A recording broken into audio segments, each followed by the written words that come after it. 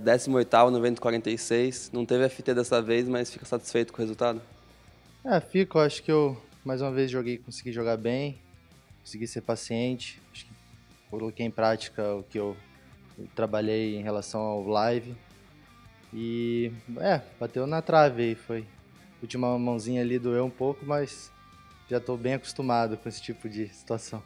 E o Omar High Low é a sua grande especialidade, né? Você se sente mais confortável mesmo do que no Holden? Isso, acho que é o meu melhor jogo, assim, que eu domino mais. E eu venho com, já tinha falado que eu vim com o objetivo de jogar todos os eventos, mas eu nunca tinha ido tão deep num, num desse aqui. Eu acho que eu tinha feito só um ITM e foi ficou aquele gostinho de, de quero mais. Essa mesa, final, mesa semifinal ali com Bear Star e Barney Boltman, dois dinossauros aí do poker, como quer jogar contra essa galera? Ah, é legal, né? A gente vê eles há bastante tempo aí.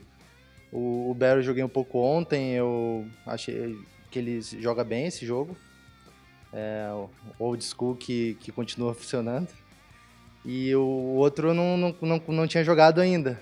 Mas é legal jogar com esse pessoal aí, é bem diversificado o field ali no final. E só um ganha, né? Você comentou da mão final ali que a gente viu foi uma bad beat. Você que conhece bastante o high-low, podia comentar um pouco mais a estatística ali da mão? É, foi um Asa 7-3 contra As Rei Rei 2, é o em pré-flop na Blind War, muito standard.